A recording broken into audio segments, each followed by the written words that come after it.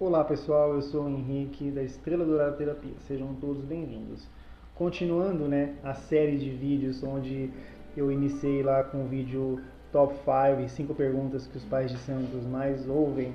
Essa aqui está na quarta posição, onde a pessoa sempre pergunta para um pai de santo é, se o fulano ou a fulana vai voltar. Gente, a gente não é adivinho, não dá pra gente saber de tudo, ainda mais uma pergunta a seco, assim, do nada. Então, dá para responder essas perguntas? Dá, mas a gente responde através de um oráculo. Tá? A gente responde através da mediunidade, quando está incorporado com um guia. Esse guia acaba dando essas respostas, assim como eu falei no vídeo anterior.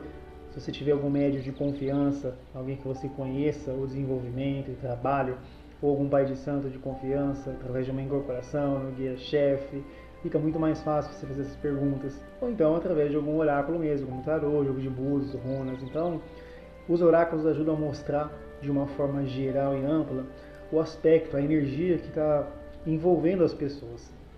Então, através do oráculo, da interpretação do oráculo, fica muito mais fácil você ser mais assertivo. Então, se você tiver curiosidade de saber se o fulano ou a fulana vai voltar na sua vida, por favor, entre em contato conosco.